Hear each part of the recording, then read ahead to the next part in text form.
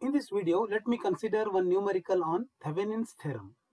Find Thevenin's equivalent circuit to the left of the terminal for the circuit shown below. This is the given circuit. Here we have terminal A and B. We have to find the Thevenin's equivalent circuit at terminal A and B.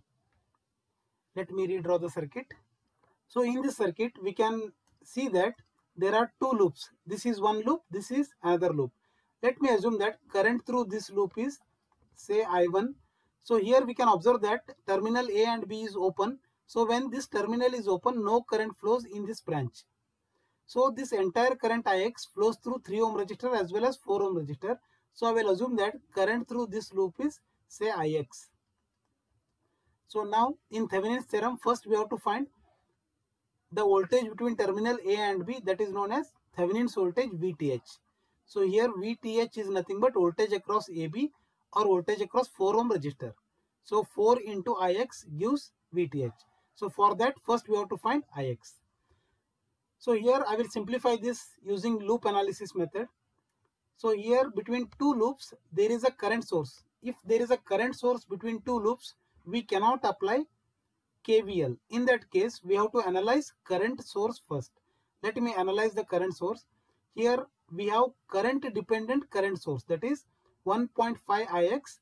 It's a current source dependent on current Ix where Ix is the current which flows through 3 ohm resistor.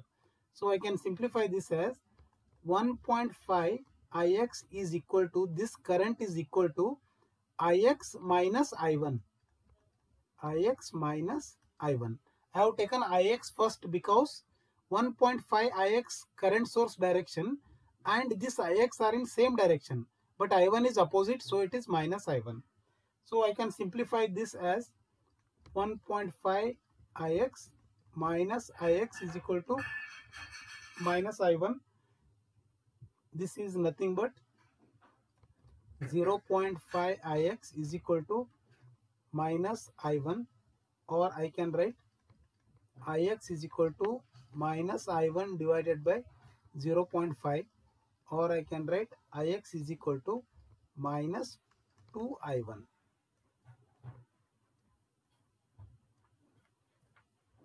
So once if we analyze the current source, now we have to assume that this current source is removed from the circuit. If we remove this from the circuit, we can observe that there is only one loop. This entire loop is known as super loop. Now we have to apply KVL to super loop. That is apply KVL to super loop. So here super loop is A, B, C, D, E, F, A. This entire loop is known as super loop. So let me start from the 6 volt voltage source. Keep that 6 volt on left hand side.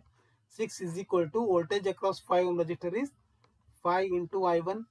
Then current will flow through 3 ohm resistor. Voltage across this is 3 into Ix plus 3ix plus we have voltage across 4 ohm resistor is 4 into ix 4ix or I can write 6 is equal to 5i1 plus 7ix or I can write 6 equal to so ix can be replaced by minus 2i1 that is 5i1 plus 7 ix is nothing but minus 2i1 or 6 equal to 5i1 minus 14i1 or I can write 6 equal to minus 9i1 or i1 is equal to minus 6 by 9 so it gives minus 0.667 amps. So from so we found the value of in i1 now let me calculate ix so therefore ix is equal to minus 2i1 that is minus 2i1 is equal to minus 2 into minus 0.667 so solving this will get ix is equal to 1.333 amps. So now let me calculate vth so vth is nothing but 4 into ix. So therefore vth is 4 into ix that is 4 into 1.333 or I can write VTH is equal to 5.333. So this is VTH which is 5.333 volts. So now we have to find the Thevenin's resistance that is RTH. So if there is a dependent source in the given circuit then we cannot find RTH directly. In that case first we have to find short circuit current ISC. So short circuit current is the current which is obtained by shorting terminal A and B. So now we have to short the terminal A and B. Once if we short this, the current will start flowing. That current is known as short circuit current. Now let me redraw the circuit. This is the same circuit. So here now we have to short this terminal A and B. Let me short this terminal A and B. The current through this will be known as ISC or short circuit current. Now we have to find ISC. Then we have to find RTH where RTH can be obtained by VTH divided, divided by ISC. So already we have found VTH. Now we have to calculate ISC. So here we can observe that the terminal A and B is shorted. So because of this short circuit, the entire current will flow through this path. So no current will flow in this branch. That is zero current will flow in this branch.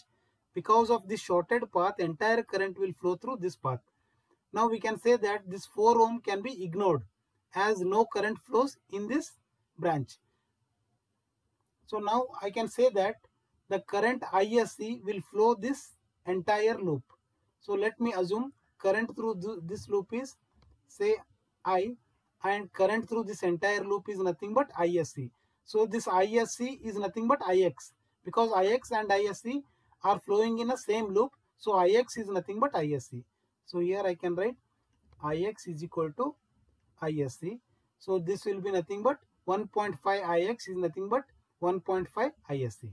Now again I will simplify this. So here there is a current source between two loops.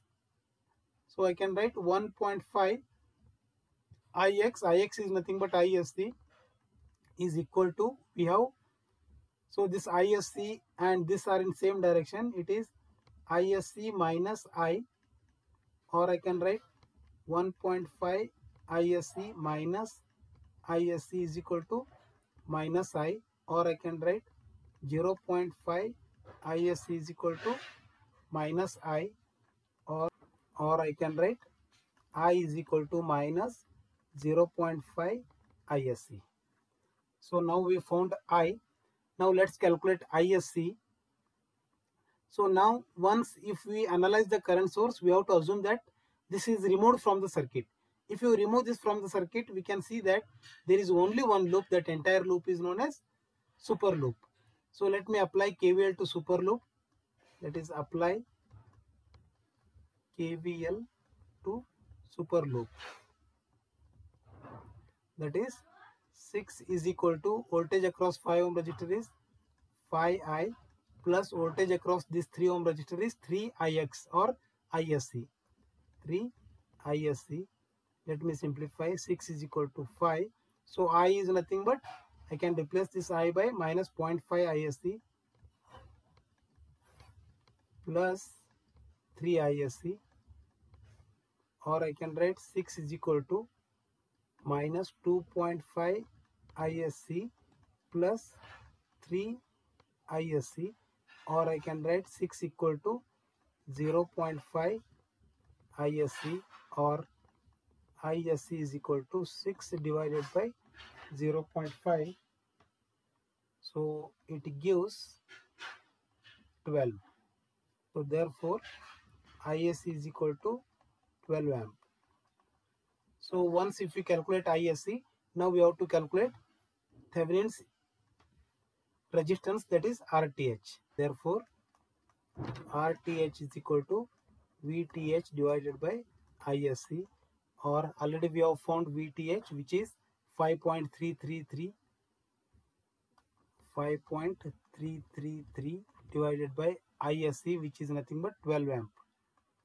12 so simplifying this, we'll get RTH is equal to 0 44441 or we can write RTH is equal to 444.41 milliohm. So this is RTH. So now let me draw the equivalent circuit. So this is RTH and this is VTH. Here we have terminal A, B. So RTH is nothing but 444.41 and VTH is nothing but 5.333. So this is Thevenin's equivalent circuit. Thank you for watching.